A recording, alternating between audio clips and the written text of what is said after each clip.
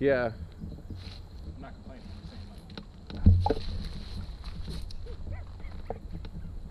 it's like my worst nightmare. We get hooked in the eyeball or something.